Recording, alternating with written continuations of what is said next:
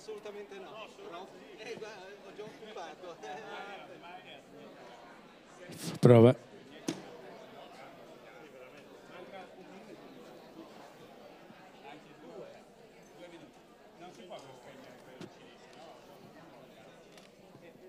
È un'esigenza televisiva. Le luci servono, vero? Per le camere sì. Purtroppo sì. Per le camere sì, le abbasso un po'. Sì. Eh, vabbè, se no noi qui co- cuociamo. Siete di destra. Eh? Il problema è che ordine seguire. Dai, comincia. ma- comincia- Io sì, perché io faccio il suo di nicchia, quindi forse. Dai, comincia. Per sei. No, Buongiorno, se vi sedete. Seconda parte della terza giornata del Festival della Comunicazione.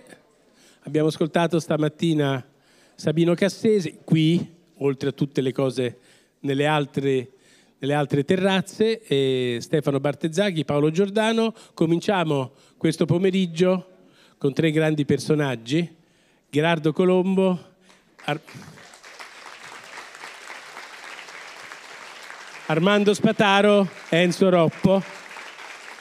L'ordine ovviamente non era di importanza diciamo, per come si sono seduti, poi giudicherete voi alla fine chi è stato il più bravo. Ah, Decide no, nessuna gara. Allora, il tema di oggi che è stato scelto, concordato, ovviamente è legato al filo conduttore di questo festival, ma anche alla specificità della storia personale e professionale dei nostri tre protagonisti e anche no, del momento storico no, che stiamo vivendo. Per questo l'abbiamo intitolata Giustizia, comunicazione e privacy, la Costituzione al tempo del web. Do la parola a eh, Enzo Roppo e poi eh, partono gli altri due. Grazie e buon ascolto.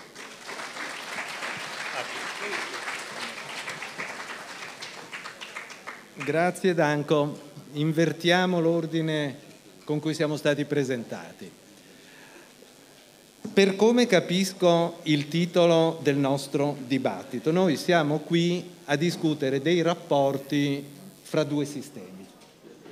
Il sistema della comunicazione, che ha al suo centro, alla sua base, il fenomeno della rete, del web, e dall'altra parte il sistema dei diritti, il sistema della legalità.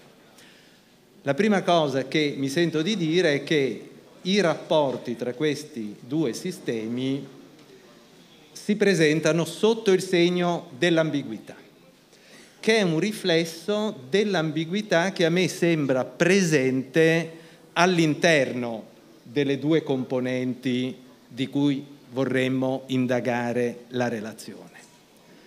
C'è una forte ambiguità nel sistema della comunicazione, nel fenomeno della rete, che presenta indiscutibili aspetti positivi di progresso, amplia le possibilità di conoscenza e di comunicazione in modo straordinario e oramai irrinunciabile. Non è concepibile oggi che si pensi di poter fare a meno di questa macchina che pervade le nostre vite e in modo certamente positivo. Dall'altro lato non ci vuol molto a registrare come lo stesso fenomeno presenti un volto negativo, qualche volta perverso, basta pensare a fenomeni come il cyberbullismo veicolato dalla rete, o addirittura la propaganda, il reclutamento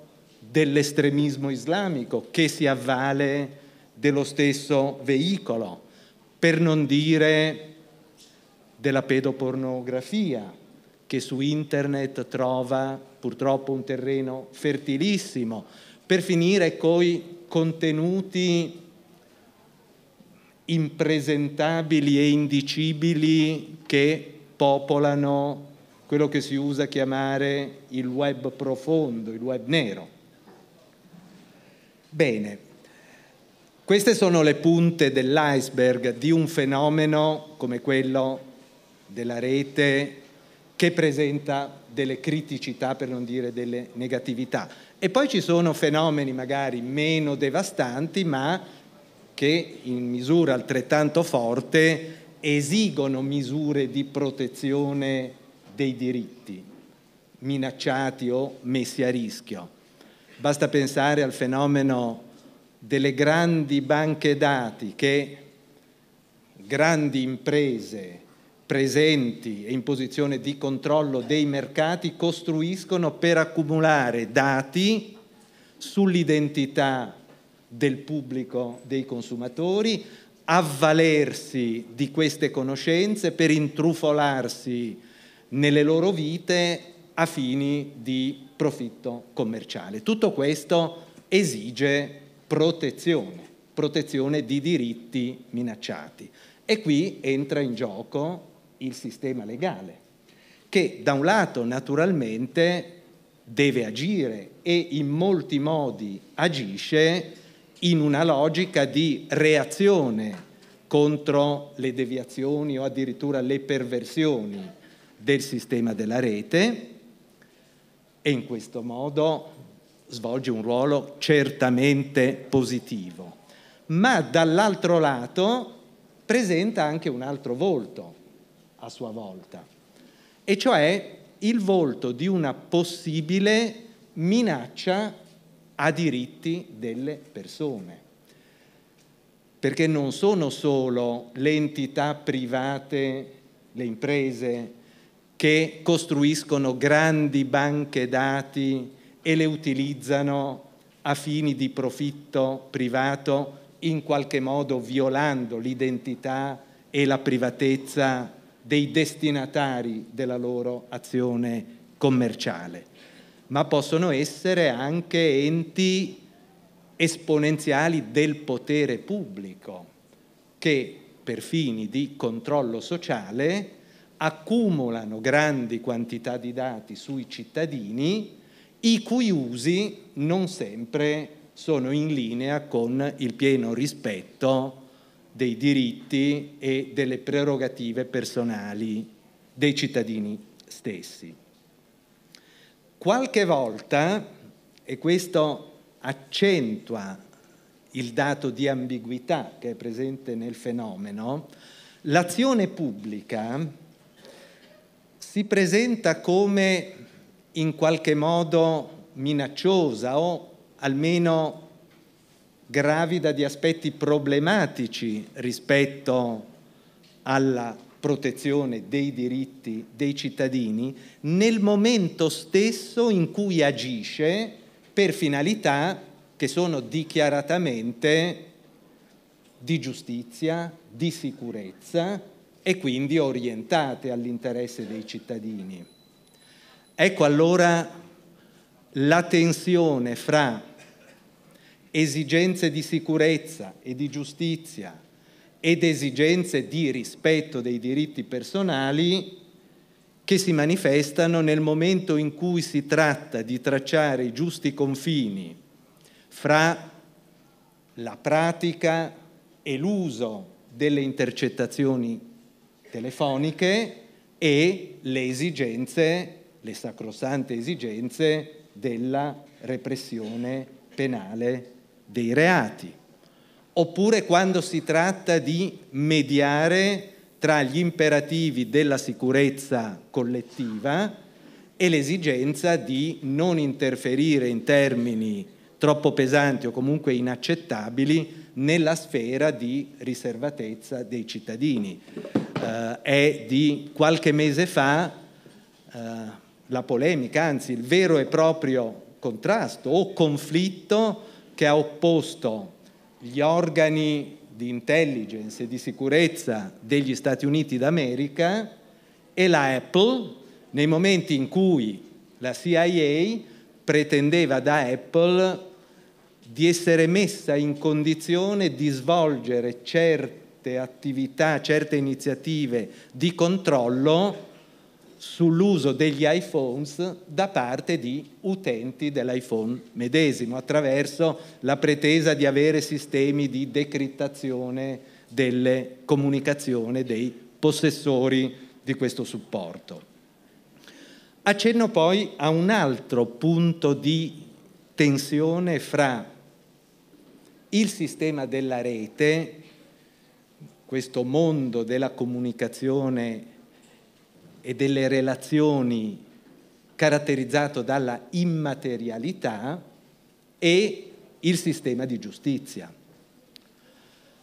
Proprio questo dato della immaterialità che caratterizza le nuove attività economiche di enorme dimensione che si sviluppano attraverso la rete eh, e appunto le esigenze pubbliche, è emerso nel momento in cui è venuto alla luce come le pratiche di alcune grandi imprese di questo settore, da Google ad Amazon a Apple, per realizzare proprie politiche di, è un eufemismo, ottimizzazione fiscale. L'immaterialità di queste attività taglia il cordone ombelicale tra le stesse e un territorio e quindi uno Stato, con la conseguenza di rendere possibile a queste entità economiche poderose di giocare con lo spazio, con i territori, in modo da guadagnare il massimo di beneficio fiscale.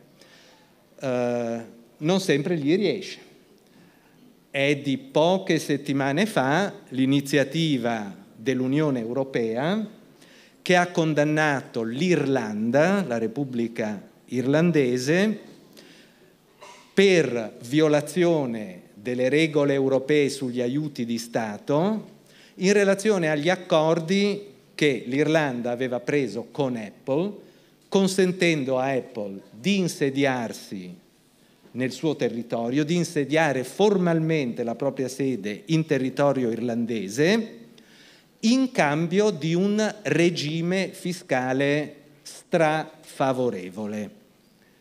L'Unione Europea ha detto no, questo non si può fare perché mette eh, la Apple, che ha fatto questo accordo con l'Irlanda, in condizione preferenziale rispetto ai suoi concorrenti che non si possono avvalere di analoghi benefici fiscali e ha condannato la Repubblica irlandese a introdurre meccanismi che le consentano di recuperare da Apple qualcosa come 13 miliardi di euro.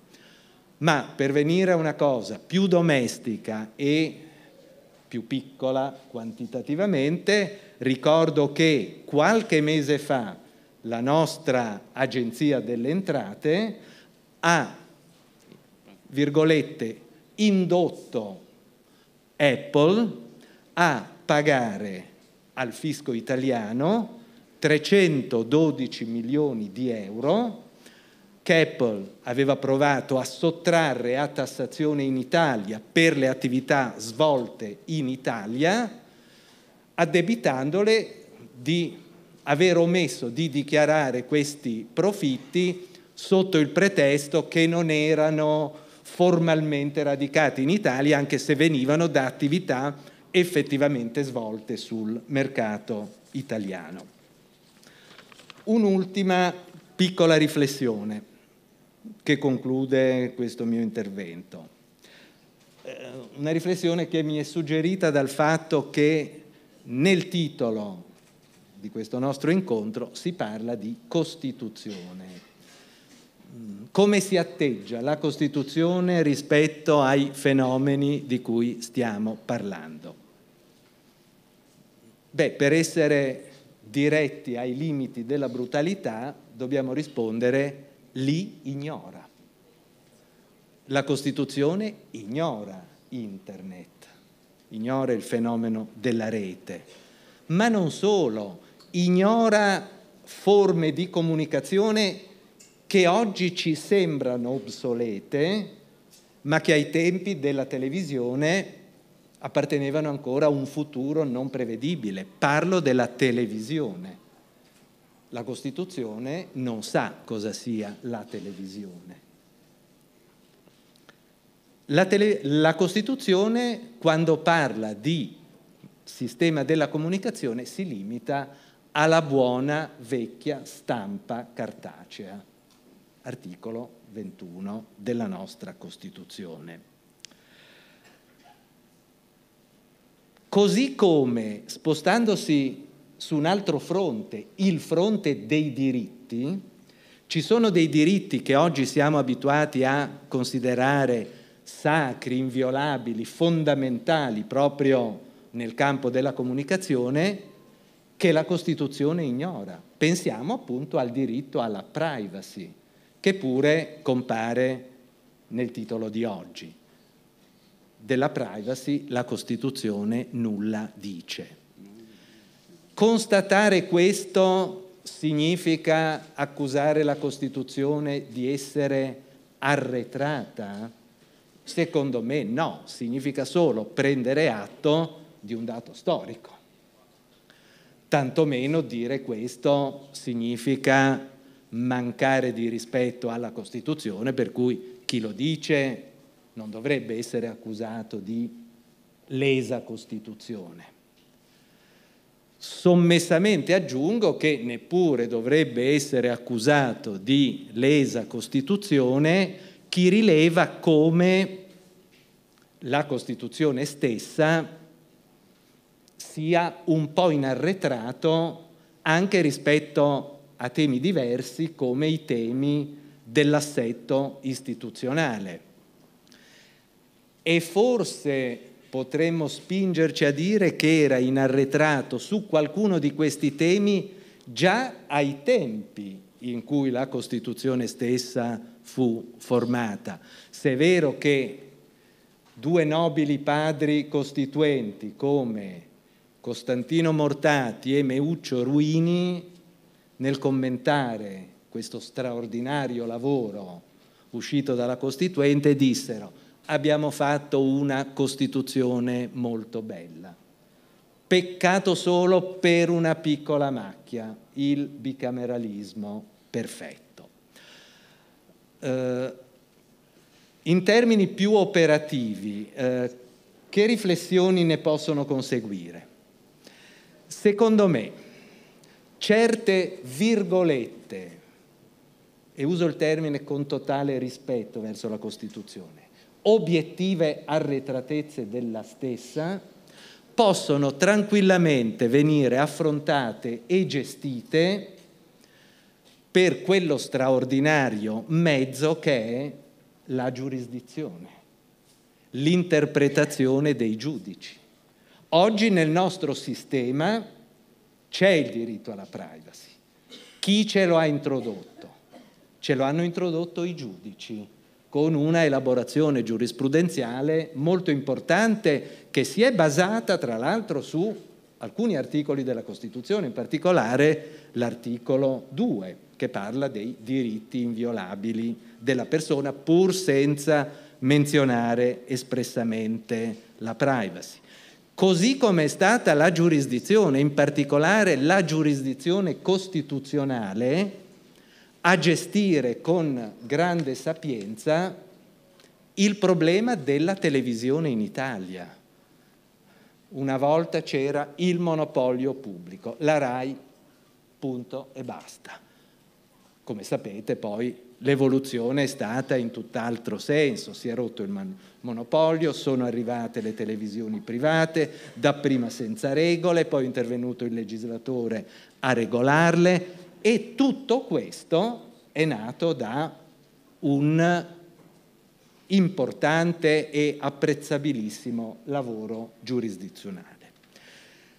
Ci sono altri campi in cui le virgolette arretratezze della Costituzione non si può pensare di gestirle con i meccanismi dell'adeguamento per via di giurisdizione. E questa è proprio la parte che riguarda l'assetto istituzionale della Repubblica, la parte seconda della Costituzione, quella a cui, per venire a cose dell'attualità, si riferisce la ben nota riforma costituzionale che attende di essere sottoposta a breve al giudizio popolare. Eh, mi arresto qui perché non credo, anzi credo che non si debba parlare in questa sede di questo tema specifico, anche perché... Anche se un po' vi ha fatto cenno. Ho fatto dei cenni... Eh, sarà dello stesso livello il nostro. Che non sono assolutamente... Anche perché se fossi entrato nel merito mi sarei trovato a perdere in partenza, perché io ben so di essere stretto qui come un hot dog schiacciato nel panino.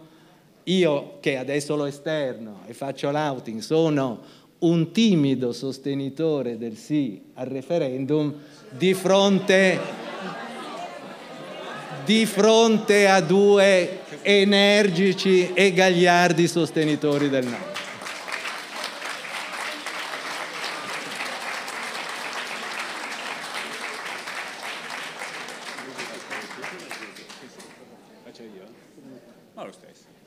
Dai, comincio io, che così poi eh, Armando non riesce a parlare perché gli porto via tutto il tempo.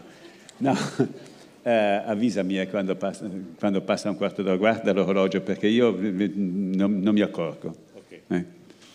Allora, eh, sì, il titolo è, è, Giustizia, comunicazione, privacy, la Costituzione del tempo del web. Io devo dire che secondo me non è che la Costituzione proprio, proprio, proprio, secondo me poi magari ne parliamo con Enzo Roppo dopo, eh, la Costituzione non si occupi, eh, non si occupi eh, della privacy, privacy come dicono gli inglesi. Noi siamo più americani.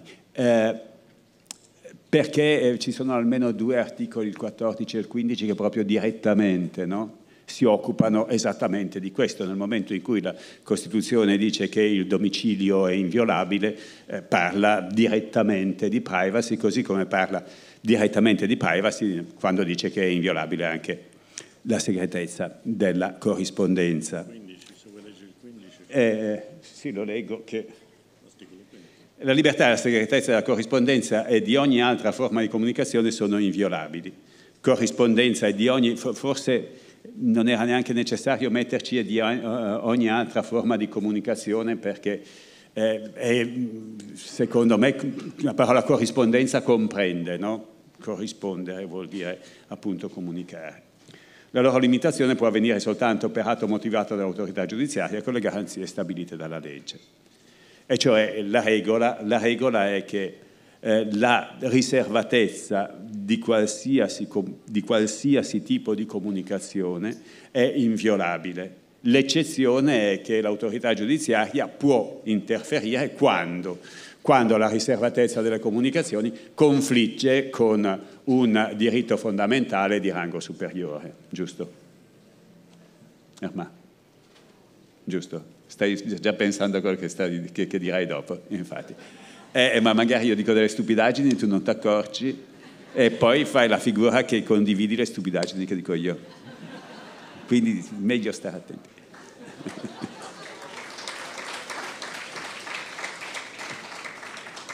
Peraltro, peraltro, la Costituzione secondo me si occupa di, eh, di, di, proprio della, di questa materia specifica che guardate ancora non esisteva. Eh perché se la televisione nel 1948 era qualcosa di prevedibile, no? almeno da, in altre parti del mondo, da noi è arrivata 6-7 anni dopo no? la televisione.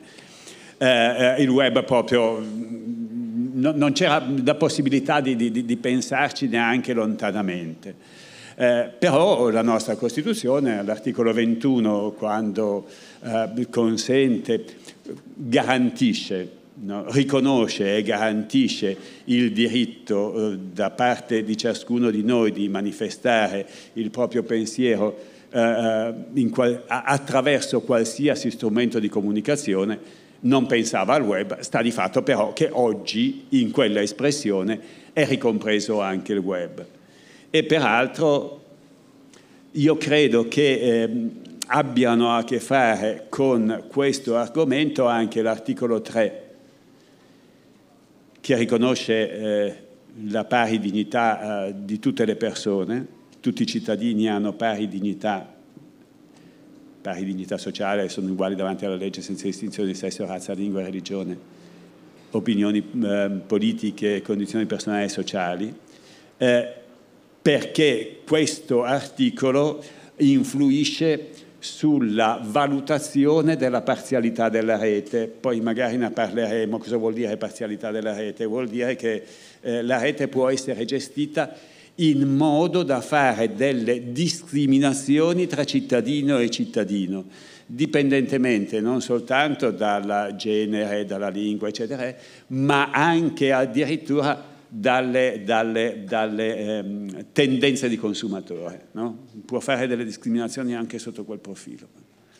Come peraltro io credo che abbia a che fare con il web anche l'articolo 34 della Costituzione, quello che conoscete tutti perché comincia dicendo la scuola è aperta a tutti. Ieri avevamo anche il ministro dell'istruzione e quindi eh, tant'è che eh,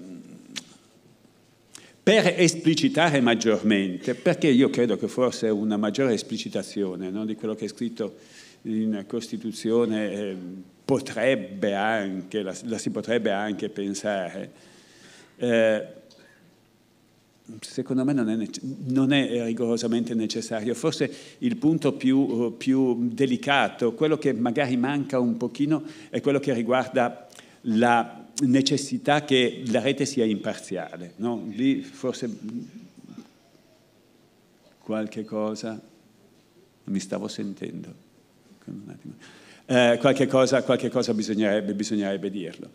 Eh, dicevo, eh, riguarda talmente la rete, l'articolo 34, che eh, un disegno di legge proposto eh, poco tempo fa eh, prevede ehm, l'inserimento dopo l'articolo 34, quello che riguarda la scuola, un articolo 34 bis che dice tutti hanno uguale diritto di accedere alla rete internet in modo neutrale, in condizioni di parità e con modalità tecnologicamente adeguate. La Repubblica promuove le condizioni che rendono effettivo l'accesso alla rete internet come luogo dove si svolge la, persona, la, personalità umana, si esercitano i diritti e si adempiono i doveri di solidarietà politica, economica e sociale. Eh, poi c'è stato qualcuno, io credo che valga la pena di citarlo, eh, che ha pensato di eh, eh proporre un emendamento eh, per inserire questo tema non tanto nell'articolo 34 che riguarda la scuola quanto nell'articolo 21 che riguarda la libertà di pensiero. Eh, tutti hanno diritto di accedere liberamente alla rete internet, la Repubblica rimuove gli ostacoli di ordine economico e sociale al fine di rendere effettivo questo diritto. La legge promuove e favorisce le condizioni per lo sviluppo della tecnologia informatica. Eh, sta di fatto che tutti e due gli aspetti, secondo me, sono particolarmente importanti. Sia il collegare eh, la possibilità, il diritto all'uso di Internet con la libertà di pensiero, che questo è un argomento che secondo me non è stato oggetto di riflessione sufficiente per quel che riguarda gli altri strumenti di comunicazione. No? Eh, nel senso che i cittadini, noi non è che abbiamo un diritto di esprimere le nostre idee attraverso eh, la televisione. No? No, non esiste una uh, imparzialità dello strumento televisivo. No? Eh, magari è un pochino difficile riuscire a organizzare uno strumento televisivo imparziale eh, e quindi ci sono così de, de, de, delle specie di... Um, di, di, di, piccole pezze, c'è, il diritto, ci sono le trasmissioni, c'erano, forse non ci sono neanche più le trasmissioni dell'accesso, c'è molta poca cosa. Uh, con il web invece la possibilità è una possibilità effettiva, è una possibilità grande è una possibilità reale, da una parte. Dall'altra, eh, senza la istruzione sufficiente per poter utilizzare lo strumento, non è neanche possibile garantire l'effettività del diritto all'uso dello strumento. E allora il collegamento con la scuola è un collegamento, è un collegamento altrettanto serio. Eh, sta di fatto che oggi, eh, al di là, e secondo me proprio in contrasto con quel che dice attualmente la Costituzione, il sistema eh, prescinde completamente dalla osservanza, dalla osservanza, ciao, dalla osservanza, eh, dalla osservanza delle regole che riguardano un pochino tutti gli aspetti, gli aspetti della riservatezza, perché credo che sappiate tutti che soprattutto le eh, over the top, the Apple, Google, piuttosto che, eh beh, insomma, perlomeno possiamo, possiamo dire che non sempre eh, eh, rispettano la riservatezza delle persone. Eh, che eh, esistono dei programmi, ma l'ha già detto Enzo, quindi mi fermo qui, da una parte che un altro aspetto uh, molto molto molto rilevante che riguarda la uh, tutela e la conservazione dei dati è sostanzialmente un aspetto poco o, quasi niente tutelato. E così via, tanto che è stata, è stata um, così elaborata e presentata da parte di una commissione de- dedicata, una commissione della Camera, una uh, carta dei diritti di Internet che si chiama esattamente, aspettate eh, che ce l'ho qui, Dichiarazione dei diritti di Internet, che è una dichiarazione che è composta di 14, se mi ricordo bene, articoli, infatti, e che si occupa di, di tutti gli aspetti che riguardano la tutela e la garanzia che il cittadino deve avere, io dico perché la Costituzione sia eh, applicata, sia eh, realizzata anche rispetto a Internet, sia sotto il profilo della tutela del diritto di poter avere la propria identità in internet.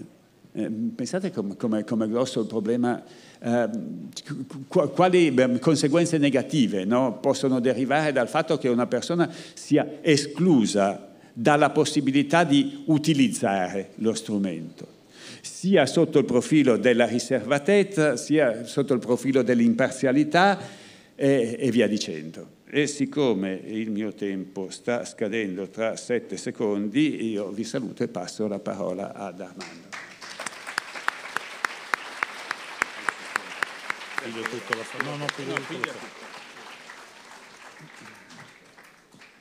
Una precisione matematica. Eh, dunque, allora, buonasera. Eh, dico subito che il mio intervento sarà probabilmente più terra terra, nel senso abbiamo sentito parlare di grandi principi. A me piacerebbe invece raccontare quello che quotidianamente vedo nella mia esperienza di pubblico ministero, che faccio da quando sono entrato in magistratura. E quindi il rapporto tra giustizia e informazione, anche con gli aggiornamenti che il web ci consente di, di meditare, sarà l'oggetto del mio intervento. È già intervenuto comunque il collega, io ti chiamo sempre collega, non ti dispiacere, il collega Colombo è già intervenuto per dire che non sono proprio d'accordo sul fatto che la Costituzione non preveda attenzione alla tutela della privacy della libertà personale delle informazioni. Per carità, c'è un articolo ad hoc, poi non lo diciamo così alta voce, se no ci arriva un'altra riforma con quattro, quattro, richieste di fiducia, quindi ci siamo attenti perché eh, c'è già nella Costituzione questo principio. Eh, perché sono eh, particolarmente interessato a questa materia? Ma perché è del tutto evidente che l'informazione irrinunciabile, sempre più ampia, addirittura invasiva, con cui oggi ci confrontiamo ha delle immediate ricadute sulla giustizia. Pensate, eh, l'eccellente giornalista Luigi Ferrarella in un articolo di qualche mese fa ha ricordato che persino eh, vi sono riflessi dell'informazione e dei suoi effetti talvolta negativi sulla giustizia nelle sentenze della Cassazione. Una sentenza, per esempio, quella che è intervenuta, possiamo citare anche gli interessati, ad assolvere Amanda Knox e Raffaele Sollecito da un omicidio, come sapete, eh, ha preso atto delle motivazioni della sentenza annullata e ha affermato che sono anche dovute ad una ricerca spasmodica della eh, scoperta del colpevole da offrire a tutti i costi alla pubblica opinione a seguito delle pressioni informative. Al contrario abbiamo un'altra sentenza della Cassazione, quella che ha condannato nel 2008 la Franzoni per un altro omicidio, la quale di fronte alle lamentele dell'interessata che diceva che era stata condannata proprio per le pressioni mediatiche, osservava no, Grazie a quelle pressioni mediatiche sono state approfondite le indagini come meglio non si poteva. Vedete quindi come addirittura nella Corte Suprema di Cassazione trovano spazio eh, queste riflessioni, per la verità in quella se poi prendessimo dire, in esame anche sentenze di altre Corti Supreme, per esempio quella americana, troveremo anche riflessi, troveremo riflessi alla musica e alle parole di Bob Dylan, ma insomma lasciamo stare, questo non, non ci interessa. Dunque, i riflessi dell'informazione sulla giustizia, le ricadute. Cercherò di parlarne in generale per poi scendere anche ad un eh, tema più specifico e di grande attualità, il rapporto tra informazione e terrorismo internazionale, contrasto del terrorismo internazionale, che poi è una eh, materia di cui mi occupo da sempre. Allora, sulla, eh, sui, sull'influenza, sui rapporti con la giustizia in genere. Se eh, abbiamo detto che ehm, vi sono tracce dell'influenza dell'informazione persino nelle decisioni della Cassazione, nelle motivazioni, è chiaro che dovremmo però affermare un principio di totale ininfluenza rispetto alle decisioni dei giudici di ciò che la pubblica opinione si attende. No? Eh, qualcuno ha scritto, qualche studioso, che appunto era ai tempi del fascismo che si teorizzava una decisione dei giudici conforme a ciò che la gente chiedeva. Non è così. Oggi il giudice deve assolvere anche se la pubblica opinione chiede la condanna e, viceversa. Eh, pensate nelle aule degli Stati Uniti non sono ammesse non solo le telecamere, eh, le macchine fotografiche, ma nulla che possa andare a ledere la tranquillità di chi depone, tanto che credo anche a voi non sarà sfuggito, spesso nelle cronache delle eh, udienze statunitensi si vedono i disegni degli imputati, dei testimoni che i giornalisti quello, quello sì sono abilitati a fare. Eh, io osservo anche che c'è stata negli ultimi decenni chi la chiama evoluzione, io la chiamo involuzione del rapporto tra giustizia e informazione. Cerco di spiegarmi, fermo restando ovviamente l'importanza irrinunciabile della più ampia informazione possibile, purché corretta, serena, no? Però noi abbiamo avuto un'involuzione perché io rammento durante i cosiddetti anni di piombo una attenzione della stampa a cogliere l'esattezza della notizia, persino con una forma di autolimitazione nel proporre notizie che avrebbero potuto come dire, assumere il carattere dello scoop. Provate a pensare alle rivendicazioni dei terroristi, degli attentati, eccetera. Eh, ci fu un ampio dibattito e solo raramente trovarono ampio spazio sui giornali. Eh, all'epoca di Mani Pulite, di cui come sappiamo Gerardo è stato uno dei protagonisti, qualcosa è cambiato. È come se improvvisamente eh, fosse iniziata la corsa allo scoop. Ricordo i colleghi che nella Procura di Milano si trasferivano da un locale all'altro seguito da torme di giornalisti, eh, molti dei quali ovviamente preparatissimi, ma eh, altrettanto numerosi erano quelli che andavano alla ricerca semplicemente del titolo da, eh, da prima pagina.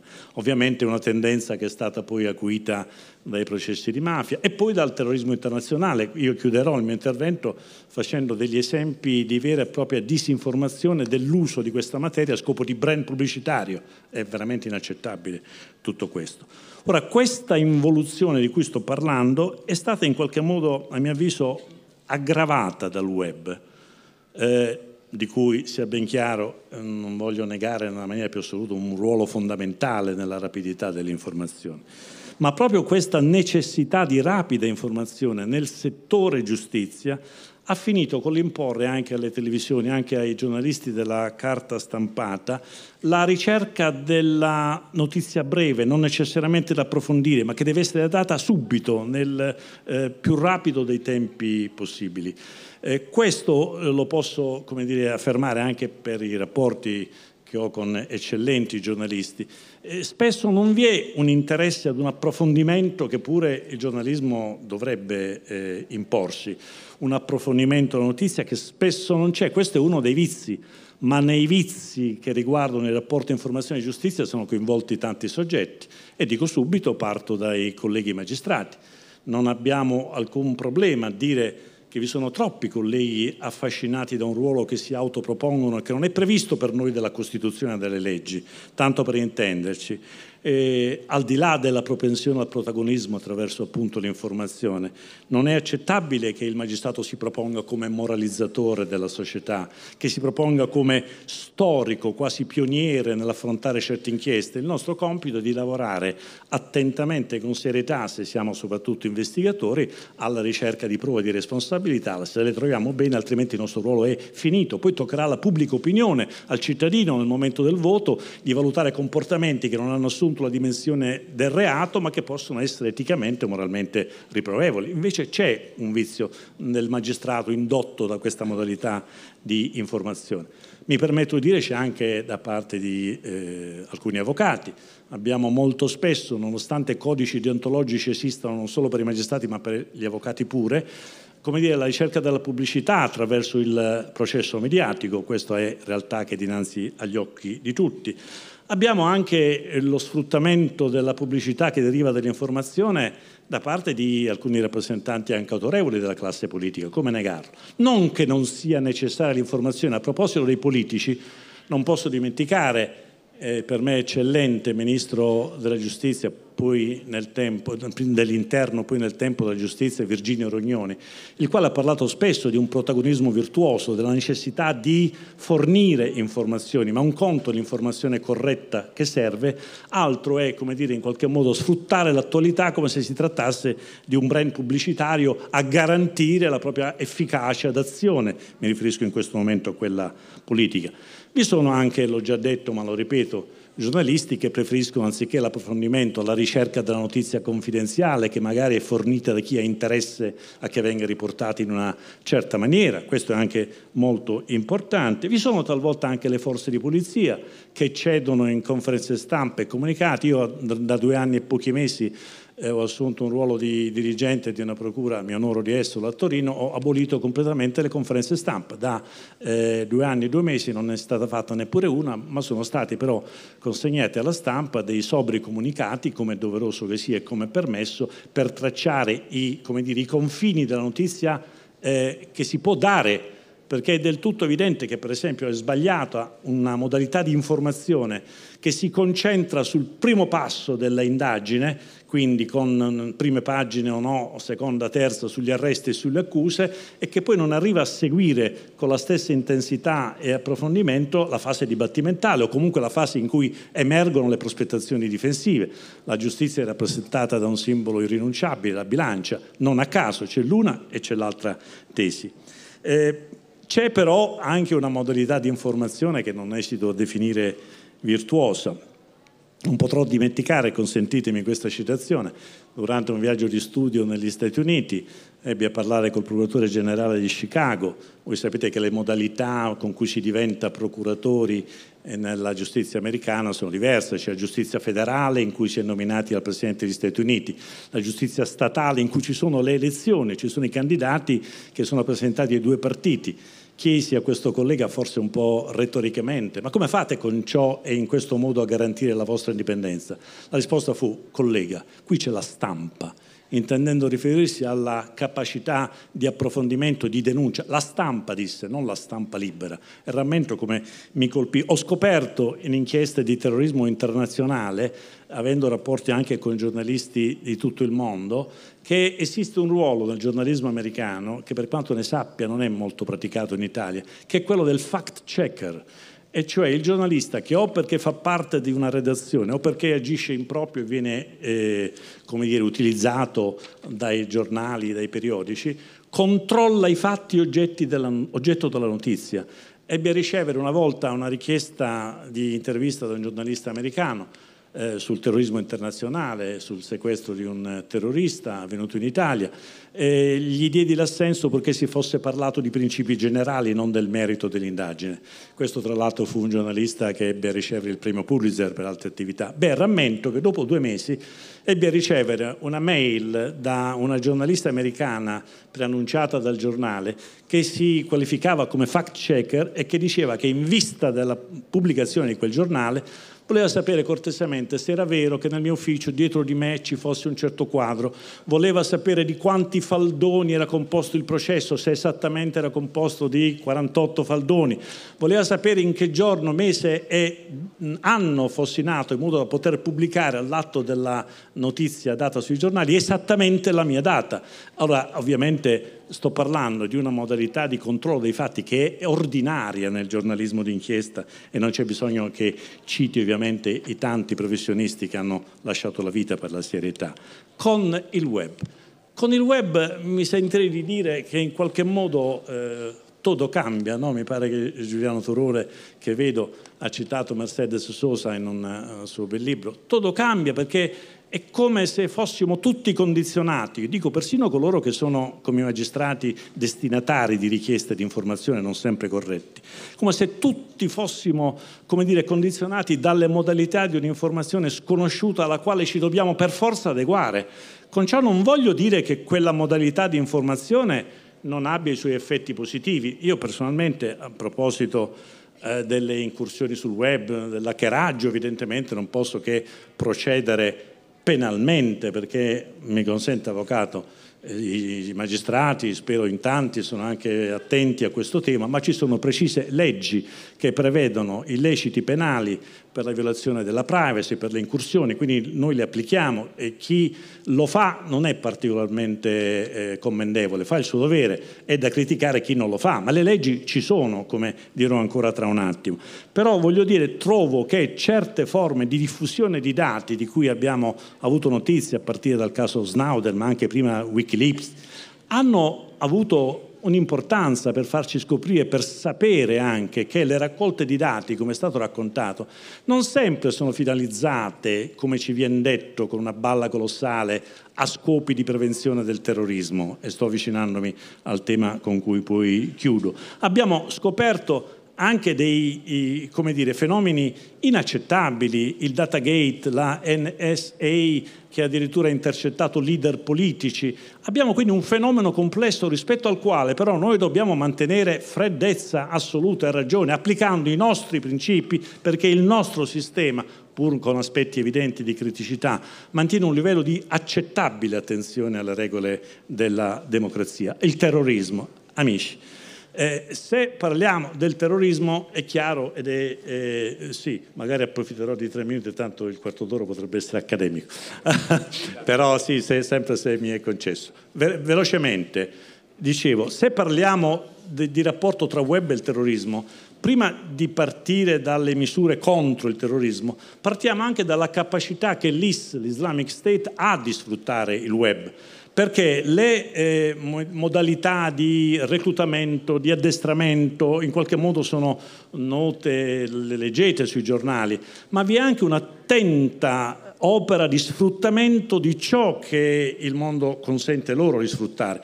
Le tragiche scene di coloro che stanno per essere sgozzati vedono le vittime con le tute arancioni, cosa ci ricordano? Ci ricordano Guantanamo e forse dovremmo chiederci anche con un minimo di eh, come dire, auto da fè eh, quale eh, rapporto c'è tra l'una prassi e l'altra. Dovremmo anche pensare a quelle immagini che vedono sul deserto sfilare automezzi armati, le stragi a Fallujah ed altri territori bombardati, ricordano anche questo, ma soprattutto vorrei dire questo. Se e il terrorismo dinanzi al quale ci troviamo è completamente nuovo, anche rispetto a quello di Al-Qaeda. Eh, è un terrorismo che nasce in, all'inizio di questo decennio, dopo il fallimento delle rivoluzioni arabe. pensavamo che avrebbero potuto portare alla democrazia, invece sono stati solo i movimenti eh, estremisti a saper sfruttare queste eh, ansie di novità, di abbattimento dei regimi territoriali. Dico, se tutto questo è un nuovo terreno eh, su cui ci dobbiamo confrontare, io dico sempre dobbiamo mantenere forte la nostra eh, capacità nostra istituzionale, intendo dire, di affrontare tutti i fenomeni emergenziali, dal terrorismo alla mafia, alla corruzione, che esiste nel nostro sistema. Allora, nel nostro sistema, per rimanere ai dati, non posso che eh, eh, sommariamente ricordare, Abbiamo una serie di leggi che regolano non solo le intercettazioni telefoniche come prova di reato, le intercettazioni preventive anche ad opera dei servizi, le agenzie di informazione, abbiamo la regola sull'acquisizione dei dati, sul tracciamento dei telefonini, non posso perdere tempo a dirvi che abbiamo anche attenta giurisprudenza nell'uso dei cosiddetti virus per intercettare le telefonate quando un, tel- un, telefonino è appoggiato sul tavolo, non quando parliamo. Abbiamo un sistema di leggi, pensate, che corrisponde anche alle regole che la Corte europea dei diritti dell'uomo, la Corte di giustizia europea, le corti costituzionali di molti Stati hanno stabilito, cioè che quel tipo di raccolta di comunicazioni, di informazioni, di dati deve essere da un lato proporzionale rispetto al fine che ci si vuole proporre, perché parliamoci chiaro, la privacy e la tutela della privacy è una condizione della sicurezza, non è qualcosa che bisogna sacrificare in nome della sicurezza. Questo l'hanno detto anche i garanti italiani, il garante europeo che è un italiano per la privacy. Eh, stavo dicendo, dobbiamo eh, tenere presente che le regole di cui disponiamo sono soprattutto tali da imporre, richiedere sempre l'autorizzazione dell'autorità giudiziaria, del giudice o del pubblico ministero a seconda dei casi, come la giurisprudenza europea richiede. Ed ecco allora che la possibilità di raccolta dati, di eh, interferire con la privacy, se regolata secondo questi criteri, è non solo conforme alle regole europee, ma dovrebbe essere esportata quanto più eh, sia possibile verso l'Europa, se vogliamo anche una risposta al, al, al terrorismo internazionale. Assistiamo invece taglio qualche argomento pure. Io sono un raccoglitore compulsivo di articoli, ho sempre paura di dimenticarmi e porto tutto appresso, poi fortunatamente qualcosa ricordo e qualche cosa ometto. Devo però per forza, per forza, per forza, non rinuncio a questo, dirvi di come la informazione e il terrorismo, eh, come dire, producono delle criticità enormi. Abbiamo allarmi che vengono diffusi eh, con la massima naturalezza e notizie false. Per esempio, i terroristi si finanziano col narcotraffico, falso, non esiste, neppure una prova. I terroristi internazionali sono eh, a sfruttare e a finanziarsi col traffico di migranti, non c'è ancora un'inchiesta che questo abbia accertato. I terroristi arrivano con i barconi, non si può dire che ci sia un solo caso accertato. E allora allora, mi permette anch'io una battuta, non è manco accettabile che si possa dire, come ha detto una ministra costituente, che la riforma costituzionale serve anche per un'Italia sicura. Non c'è proprio nessuna traccia su questo qua. Come non possiamo, come non possiamo accettare che si dicano il Presidente del Consiglio, a cui va ovviamente, il nostro rispetto, con le intercettazioni abbiamo sventato alc- alcuni attentati, così due o tre, nessuno ne sa niente. Abbiamo tenuto anche una recente eh, riunione tra tutti i magistrati esperti e che trattano questa materia, non c'è nessuna notizia su questo punto. Allora, come dire, eh, potremmo fare anche altri esempi, le espulsioni, le espulsioni che vengono pubblicizzate come eh, la, la, la, risoluzione di tutti i problemi. Eh, non potrò dimenticare un, un, giovane arrestato in provincia di Milano e presentato alla stampa subito come l'esecutore, uno degli esecutori dell'attentato al Bardo a Tunisi, si rivela innocente, è stato scarcerato, sarà espulso. Non è stato espulso perché ci siamo opposti come magistratura. Allora, finisco e mi scuso di aver sforato i 15 minuti anche con chi li ha rispettati. Io dico che di fronte a questa realtà è difficile anche fissare delle regole, comunque in Costituzione, perché evolve in Costituzione o in legge ordinaria, evolve. I principi però ce li abbiamo. dobbiamo osservarli con freddezza e con ragione, perché se noi pensiamo di poter contrastare questo eh, terrorismo e questa emergenza costituzionalizzando l'emergenza, siamo fuori dalla logica, non coglieremo risultati in alcun modo. Ecco perché io ammiro e vorrei finire il mio discorso ricordando la ministra della giustizia Tauirà, francese, che ha avuto il coraggio di dimettersi proprio contro la costituzionalizzazione dell'emergenza. Grazie.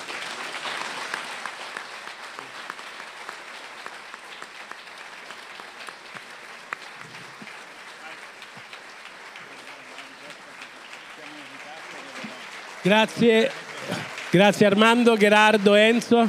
Beh, Armando non ho detto che abbiamo invitato Maria Elena Boschi la settimana prossima a confutare gran parte delle cose che lui ci ha detto adesso, ma lo sa che stavo scherzando. Allora, finisce qui l'appuntamento Armando Spataro, Gerardo Colombo e Enzo Roppo. Li ringraziamo molto di questa presenza, di questo intervento. Invito il pubblico, grazie, a uscire perché poi ovviamente c'è tutto l'altro pubblico che eh, attende per entrare per l'intervento di Piero Angela. Grazie ancora, a più tardi.